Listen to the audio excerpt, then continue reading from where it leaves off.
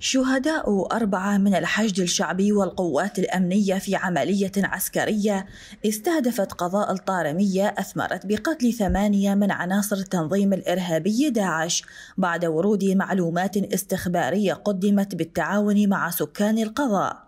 شيوخ المنطقة وقيادات أمنية أكدت على إعطاء أبناء الطارمية حق الدفاع عن مدينتهم من خلال تقديم الدعم الكافي بعد تكرار تغلغل العناصر الإرهابية عبر البساتين التي تحيط بالقضاء. مجموعة ترى على عدد الأصابع. هذول مطلوبين للدولة من قديم. وخاتين بالبساتين. يتختل من بستان البستان وإن شاء الله تنتهي. وإحنا ندعي أهالي البساتين كل البساتين بالمنطقة كل من يحافظ على بستانه وينظفه ويخليه نظيف حتى يبين به أي واحد يختل به أبناء الطارميه هم من يدافع عن هذه المنطقة وأبناء الطارميه بمقاتليها بشيوخ عشائرها بمواطنيها هم الذين يتصدون الارهاب الآن.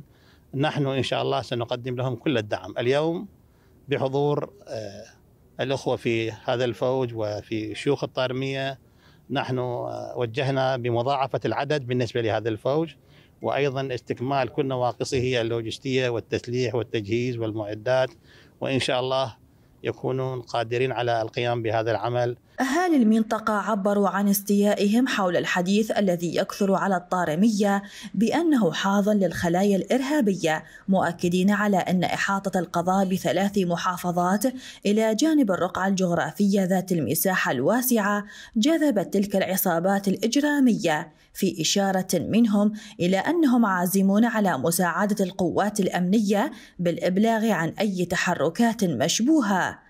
تشهدها المنطقة الحالات تصير مو من الطارمية هذول يجون من غير مناطق يدخلون الطارمية لأن بساتين آمنة تضمهم.